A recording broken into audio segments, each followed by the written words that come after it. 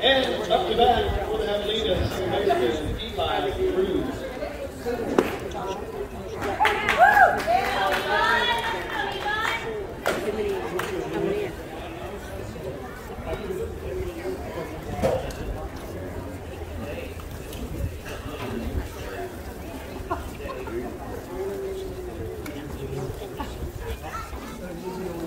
Thank you.